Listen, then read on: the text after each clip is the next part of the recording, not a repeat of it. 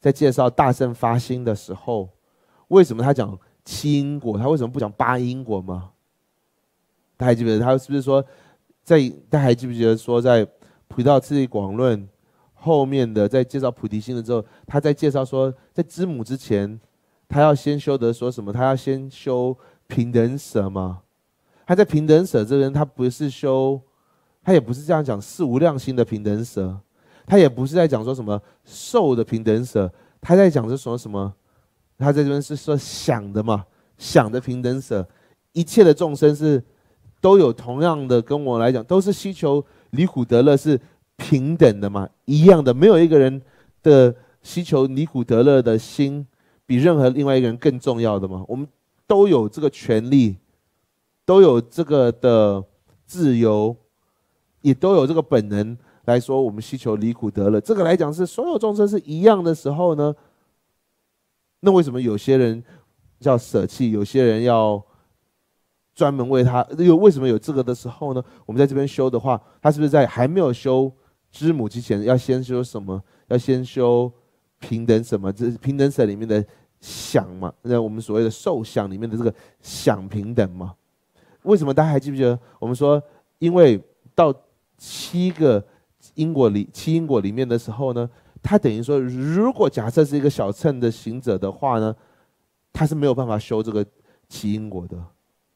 他只要到知母的时候，可以意念到一切是众生是曾经作为我的母亲，或者有真的生起来的话呢，他不可能就只为我一个人了嘛？你看，我们是不是说，你看，你只要意念到母亲的恩德的时候呢，只要有是啊，我说堪为是人的这个人的话，他是不可能说我我只为我一个人，而我把我的母亲、父亲这样子舍弃掉嘛？他不会这样的，只为我一个人去去思考的。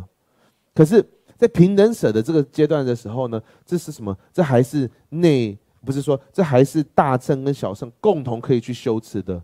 他修持升起到想平等的时候，他还不代表说他一定要把小乘的哦，只为我一个人去追求解脱的那个心舍弃了，还不一定要了。可是到了知母之后。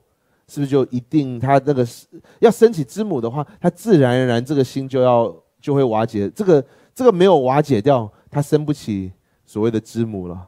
这个两个是生不起来。所以我们说，大家有没有以前有没有思维过这个？这个我说有没有？我记得我们在讲《现观传》有提到这个问题吗？他以前在《普教次第广论》后来修持，他有没有说？你看他有说，哎，这个之前一定要先修平等舍嘛？可是为什么就不把他说？八八因果就好，为什么不说哦？先有平等舍，在知母，在念恩，在报恩的时候，他的关键就在这边说啊，这个前到这个之前，他还是大小圣的共同了。